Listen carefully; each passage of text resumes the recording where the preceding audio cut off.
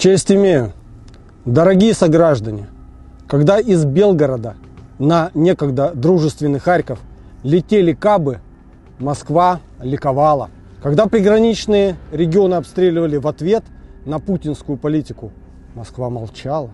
Когда вас забирали мясом на фронт вдали от дома и грузили в автозаки, Москва смеялась. Мы приходим не для того, чтобы убить, стереть, уничтожить или наказать.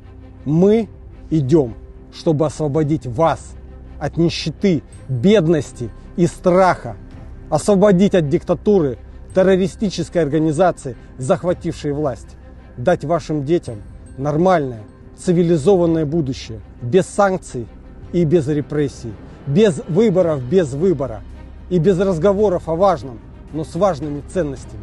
И самое главное, без войны. Путин узурпировал власть на 20 лет. И что произошло?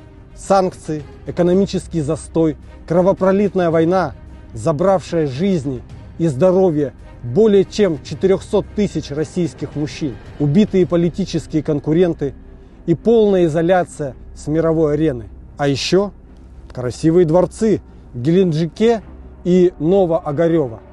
А теперь он планирует идти на еще один срок и править до самой своей смерти. Мы не позволим. Мы такие же россияне, как и вы. Мы тоже имеем право на волеизъявление. И наша воля не признавать кровавого диктатора президентом России. Мы сделаем все, чтобы он успел из Новоогарева переехать в Полярный Волк.